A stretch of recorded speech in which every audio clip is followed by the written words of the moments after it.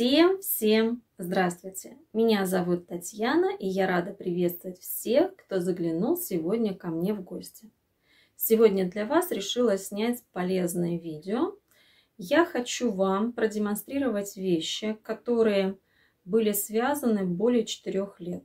И они задержались в моем гардеробе, и я с удовольствием их ношу.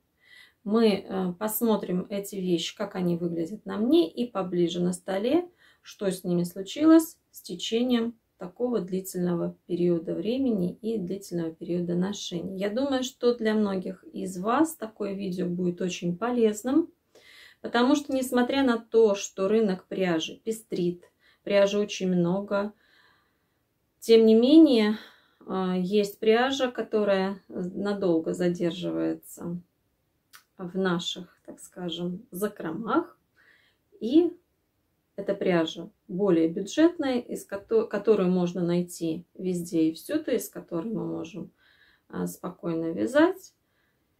Итак, давайте начнем. Первая вещь, которая сейчас на мне, это джемпер, которому уже 6 лет. Связан он из пряжи Семеновская Искра. А, здесь в 100 граммах 1316 метров. 5 ниточек э, перематывали мы эту пряжу. Здесь 40% шерсть, 40 акрил и, по-моему, 20% метанин. Здесь легкое-легкое мерцание есть у пряжи. Пряжа очень теплая, а с длинным рукавом джемпер. Очень красивый ажурный узор и рукав от прямой проймы. Сейчас мы поближе рассмотрим на столе это изделие. И я вкратце вам еще немножечко расскажу. Рассмотрим вещь поближе. Это вот такой красивый узор. Мельница, не мельница, не знаю. Мне понравился, я с удовольствием его использовала. Вот такой узор. Значит, у меня, я не помню, конечно, сколько у меня ушло пряжи, но это точно не, по-моему, или три, или четыре мотка я покупала этой пряжи. И вот в остатках, то, что у меня оставалось, уже совсем немного, я горловину просто обвязала веерочками. И все, потому что это уже просто были остаточки пряжи. Никаких нет катышков. Вот посмотрите, это боковые места. Это рукава. Ничего абсолютно. Изделие прекрасно выглядит, несмотря на то, что ему уже так много лет. Поэтому эта пряжа вполне, вполне подойдет. То есть, так как про пряжу, которую мы говорим, не убиваем. Ну, вот один из вариантов. Следующее мое изделие это туника. Связана она из бобинной пряжи. Это первая покупка бобинной пряжи. Я покупала 4 артикула. И вот эта пряжа была среди них. Очень мне понравился цвет. Такой необычный розовый цвет. И мне хотелось связать такую тунику. И я сделала акцент. Она просто вяжется. Здесь акцент только вот на этой ажурной э, линии по рукавам и э, после груди, да, так скажем, такая линия, не на. Она А-образного силуэта, такая широкенькая, слегка расклешенная.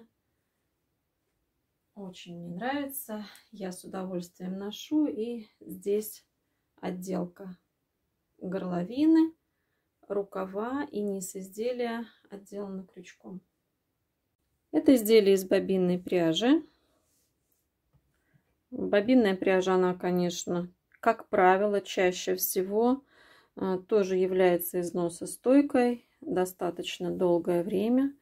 Эта пряжа, вот она мне никаких сюрпризов не преподнесла за все время носки. Никаких катышков я не наблюдаю на изделии. Я показываю специально те места, которые чаще всего, да, тремся. Это рукава, задняя часть и бока. Ничего.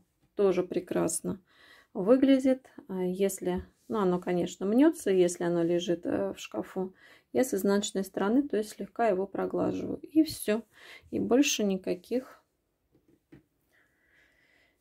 особых, так скажем, нету хлопот с этим изделием. Да, вот здесь веерочки после ажурной каймы и на рукавах тоже. Сначала у меня здесь было просто а, ажурный ряд, но все время закручивалось изделие, поэтому я его утяжелила, обвязав крючком. А это мое знакомство со слонимской пряжей. Это слонимский меланж. Здесь 8 нитей, по-моему, или 8, или 10, я уже не помню. А, когда я познакомилась с этой пряжей, я в нее влюбилась и вязала очень много изделий. Некоторых уже просто у меня нет. И одно из изделий это жакетик на пуговках. А, здесь кнопочки у меня. А, от линии груди немножко тоже расклешенный. Связан он сверху с регланом. Ну, здесь как бы такие вот косички, но так как пряжа рябая, здесь не особо был бы какой-то виден узор, поэтому я и даже и не, не задумывалась о том, чтобы здесь что-то ляпать, так скажем. И э, здесь а, у меня я вот, вот так сначала отсюда вязала, но мне не понравилась а, горловина, и я решила ее сделать выше стоечкой, набрала а, от верха и вязала еще вверх. Поэтому у меня получился такой эффект. Обожаю просто этот жакет.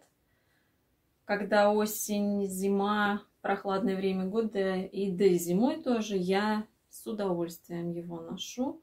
Это один из моих любимых жакетов вязаных. Ну, это мой жакет из слонимской пряжи. Это первый мой жакет на кнопочках. Ой, как же мне нравится игра вот этого цвета. Это бесшовное изделие, но здесь вообще тоже, ну вот здесь слегка на рукавах, вот я вижу. Вот такие совсем незначительные катышки. Но это вообще можно сказать ничего. Ну вот слегка на рукаве есть. А так тоже вещь прекрасно носится из этой пряжи. Я вязала много из нее изделий и себе, и дочке. Мне нравится. Следующее мое изделие это кардиган колоски. Связан он из пряжи Ализе Ангора Голд Симли. Тоже очень люблю этот кардиган. А, накинул, пошел. Здорово вообще. Тоже есть легкое мерцание. Рукав, ну, слегка, так скажем. Ну, вот он так, прямой. И ничего не делается абсолютно. Тоже ему уже года 4. С удовольствием надеваю. И тепло, и красиво. Это пряжа Лизе, Гора Голд Симли. Я думаю, многим известная пряжа. Вообще чудесно. Мне понравилось, во-первых, работать с, ней, э, с этой пряжей в крючке. Единственное, эта пряжа не терпит ошибок. То есть назад распустить просто невозможно. Э, я, то есть как бы нужно четко набирать сразу такое количество, как вам нужно, и вязать. Потому что распустить нереально. Ну, может быть, у кого-то. Вот я что-то не помню. Наверное, дочке, да, я вязала. И что-то хотела немножко распустить, у меня так и не получилось. Пришлось так исправлять. Ну, крючок, да, дело такое. Здесь можно начинать откуда угодно. Здесь от прямой проймы рукав. И вот он прямой абсолютно. Очень люблю этот кардиган. Тепленький и красивый. Еще вот такая есть у меня кофточка в гардеробе, связанная из бобинной пряжи. а, в 4 нитки. Это тоже полумеринос. А, ниточка тонкая, но очень теплая. На кнопочках с баской. Здесь регланная линия такая вот интересная. И еще я использовала мережку. Ну и перед баской на фотографиях увидите, как выглядит эта кофточка. Это изделие тоже из бобинной пряжи. Вот эта пряжа слегка, слегка она закатывается. Здесь не видно, но сейчас я найду, где показать. Вот здесь вот, вот слегка видно. Такие вот затертости есть. Ну, закатывание. А здесь баска, связанная теневым узором. Причем так получилось, что я его вывела сама. Ну, я нашла какой-то узор, но стала вязать. В общем, он должен был быть шире, по-моему. А я вязала в лицевом и изнаночном. Вот у меня получились такие вот ромбики интересные. Думаю, класс.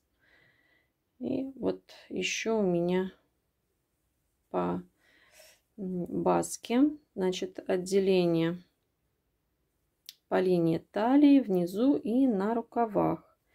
Это у меня такая мережка. Вот, немножко есть. Эта пряжа немножко закатывается. Ну и завершу свой показ платьем. Это зимнее платье. Ношу его зимой. Достаточно часто люблю это платье. Это платье связано из слонимской пряжи. А, васильковый цвет. Очень красивый аран. Ну, такое платье тоже ходило очень много в интернете несколько лет назад. По колено я люблю именно вещи вот такие мне больше идут. И платье красивого василькового цвета из слонимской пряжи. Вот уж воистину пряжа неубиваемая. Ничего абсолютно с ней не делается. Прекрасно вывязывается носится, не вытягивается в ненужных местах. Ну и минимальное количество где-то, если есть каких-то катышков, абсолютно минимальное. Я показала вам маленькую часть своего вязаного гардероба, э, но моя цель была именно показать вам вещи, которые я ношу уже многие года. А, и с этими вещами ничего не происходит, они хорошо выглядят. И поэтому я надеюсь, что многим из вас моя информация была сегодня полезна. При выборе пряжи особенно будете учитывать, как она себя ведет, потому что мы, для нас вязальщица это очень и очень важно. Ну, а я вас всех благодарю за просмотр. Спасибо всем, кто был со мной. Ну что ж, желаю вам всего самого наилучшего, новых творческих проектов. Ну, а я с вами прощаюсь. До новых встреч. Пока-пока.